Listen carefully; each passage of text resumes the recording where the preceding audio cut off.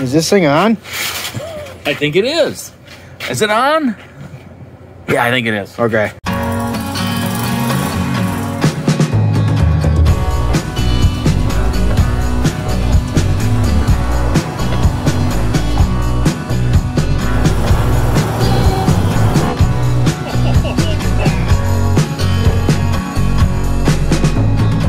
Hey guys, welcome back to Daddy Jeep Garage. I'm Rob.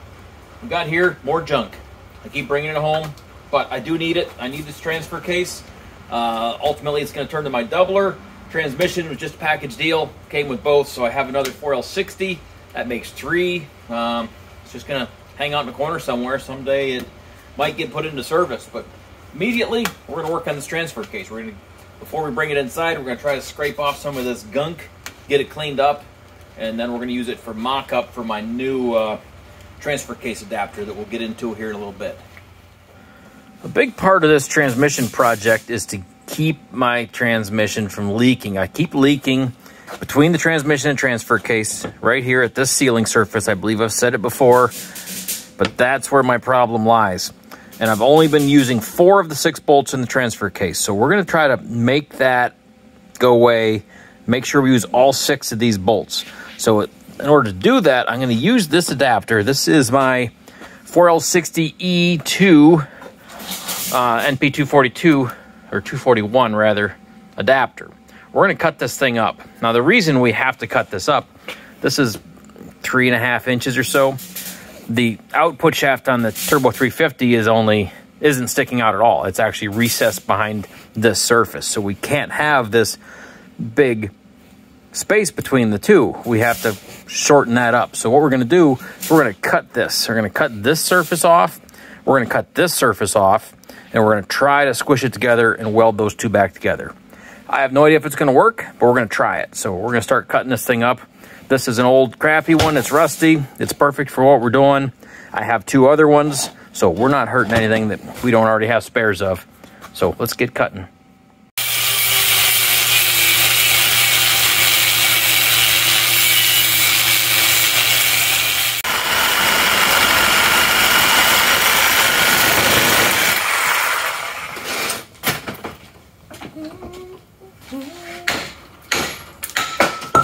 How about that? Some of that.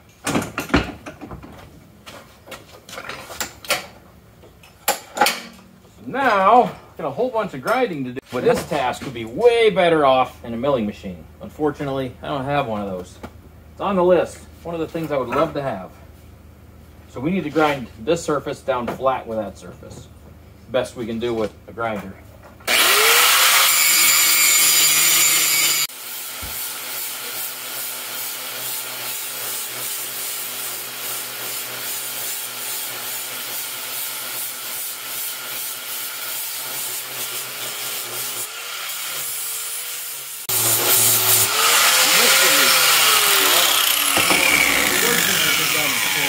And then walk away. Ugh, hand hurts. Ugh, fear.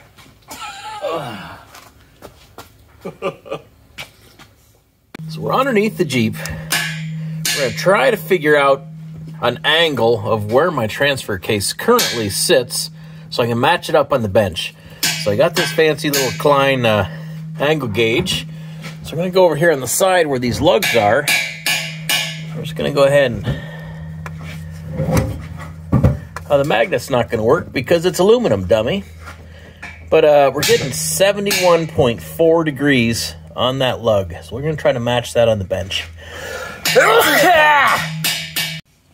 So both pieces of my adapters are now on their respective chunks. I got this piece bolted to the transmission, and I've got the other chunk bolted to the transfer case. Now we need to marry the two, see if we can replicate the angle of what's in the Jeep.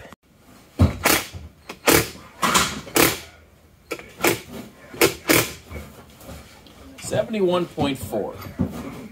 So this is the current configuration that's in the Jeep now, the current clocking, and it shows me where my problems are. Same problems I have with my current adapter, I'm gonna have with this adapter.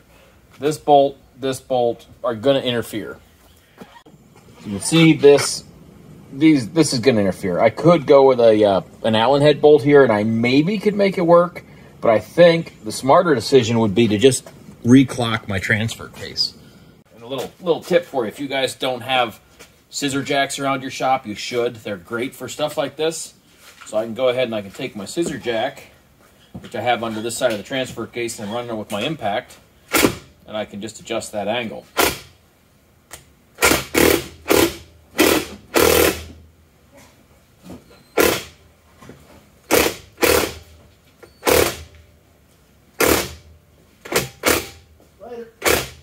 See ya.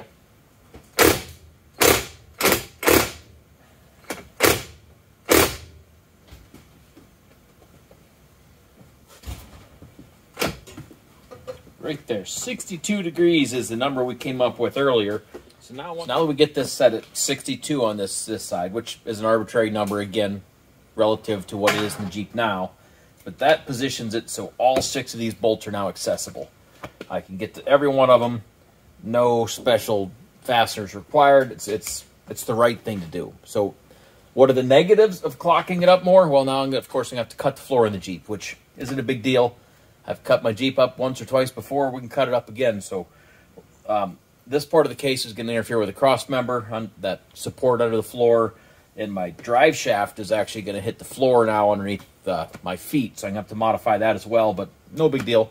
We can chop that up. I'm just super happy that I can get all six bolts in finally. And then once once these two pieces are welded together, I'll be able to drill through from the transmission side holes back through the transfer case side of the adapter, and then I can counter bore those so the uh, the whole adapter will bolt to the transmission first, and then the transfer case will get bolted to it. So here's my concern with the reclocking of this transfer case. So this line here, from there down through there, was the original level from the fill plug with the proper clocking. Now that I've rotated it up, now it's clocked to here. That's a pretty huge difference. So what, what that equals over here is now my fluid level is all the way up here, almost to the center line of the reduction box. Where when it was rotated before, it was way down, barely getting to the bottom of the reduction box. So I don't know if that's okay. That's going to put, oh, really, it's going to put a lot more fluid in this thing. So if anybody knows an answer to that, you know, I'm all ears. Um, I think at this point, I'm probably just going to underfill it a little bit to try to keep that level roughly where it's supposed to be. Also consider this is a trail Jeep. I'm not going down the highway at 60 miles an hour. So here you can see where these currently sit. And again, I'm going to machine these flat. So this dimension is going to come down to roughly three quarters of an inch once it's all flat. We pan back to the original, what this thing started as. This distance here is, I think, three and a half inches. So, I mean, it's a huge change in the length of what this is supposed to be. But if you look at the output of a Turbo 350, the, the output shaft only sticks out about a half an inch. Where on the 700R4 or 4L60 that this adapter is supposed to be for, that output sticks out three and a half, four inches. So that's that's the difference. That's why I can't just use this adapter the way it is. So I've got to build this super short adapter, which for a YJ is great because that gets me more drive shaft length in the rear.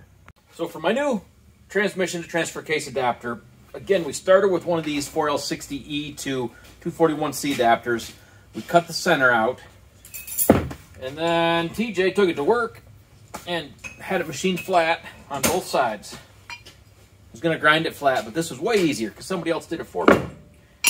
So now these two will fit together real nice. They'll have a great weld surface inside. Once it's all lined up, I'll get a great surface to weld to in here. I'll weld out here. They're going to work out fantastic. And look how thin that is. So we had the two pieces mocked up between the tranny and the transfer case. I went, went ahead and got them tacked together. So now we need to heat these. I believe this is cast steel.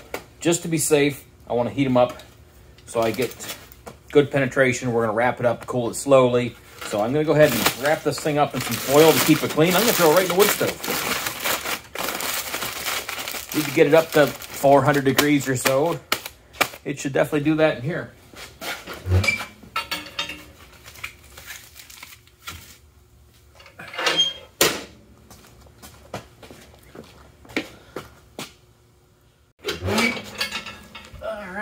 Check this thing again. I bet it's getting pretty toasty.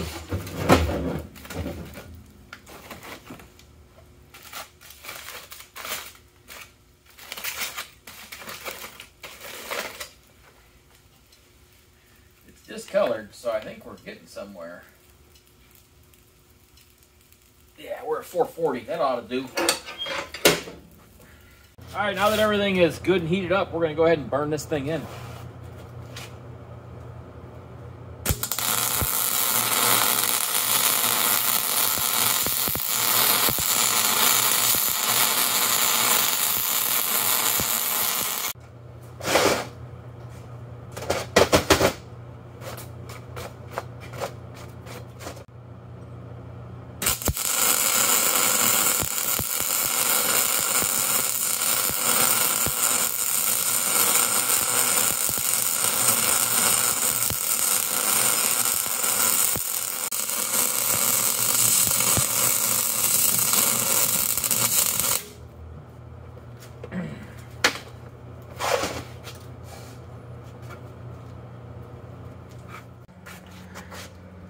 Some pretty decent looking welds in there. It's really nice when you preheat and get good penetration. Make some nice welds.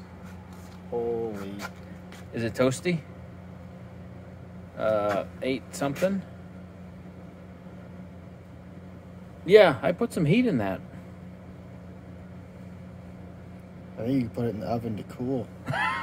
All right, so we're just gonna wrap this thing up and let it cool. Just like a baby, right? Is it hot? The bench was hot, yeah. now that I have the two pieces glued together, now we have to transfer these holes. So these holes here, these four are the ones that go into the transmission. So we're gonna drill these out. We're just got the closest bit I can find. It's a slight little bit loose, but I think it'll be okay. I'm gonna drill those holes through this plate. And it's gonna end up in bad places in here, I'm sure, but we're gonna do our best to countersink these holes so the bolt heads sit flush so we can bolt this whole adapter up to the transmission and then go ahead and bolt to the transfer case with those six holes.